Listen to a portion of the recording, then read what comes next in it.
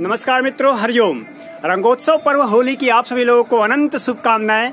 आपके जीवन में रंग बिरंगी खुशियाँ हैं, ऐसी मेरी शुभकामना है। आप पूरे परिवार सहित खुश रहें, स्वस्थ रहें। Wish you happy Holi.